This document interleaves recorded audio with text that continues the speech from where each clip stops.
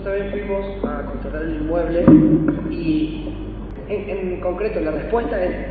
cuando se otorga el comodato con la descripción catastral que mencionaron tanto en el instrumento como acaba de reiterar la, la dimensora, el efecto jurídico que tiene el contrato de comodato es sobre todo la propiedad. O sea, lo que se otorga el comodato es sobre todo. En particular, a, un modo informativo, eh, eh, el inmueble que está ocupado claramente se, simple vista se ve que es menor que eso. Ellos tienen el comodato por el plazo que se establece eh, sobre todo el inmueble, o sea, sobre los 517 metros cuadrados. El efecto jurídico que se, se otorga el comodato, que es un préstamo de un inmueble eh, gratuito, es por todo el, por todo el plazo. Acá hay unas imágenes del, por ahí por el web, estas son unas imágenes, eh, pero son las imágenes de eh, la construcción que ya existe, que a, para una mayor claridad expositiva sería importante que cuando asume eh, el doctor Fernández a la Intendencia el 10 de diciembre, ya existía esta construcción en el inmueble que está. Eh,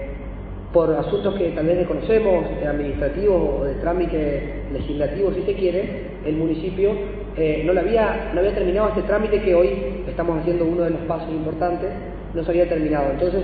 la, la construcción era preexistente. Cuando eh, durante el mes de enero, si no me equivoco, se habían entablado conversaciones con los representantes eh, de la sociedad del Estado, ¿no es cierto? Guarantú Comunicaciones es una sociedad del Estado provincial. Eh, se habían entablado conversaciones con esta gente a los fines de subsanar que era un problema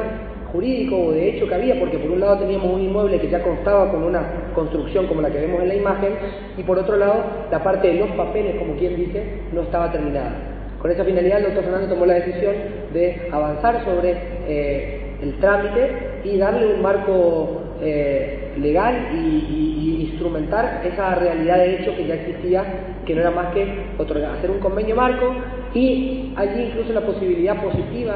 eh, no solamente para la comuna de Oberá, sino también para el municipio como Estado en particular, porque en este convenio dijeron, bueno, vamos a arreglar los papeles de esta realidad de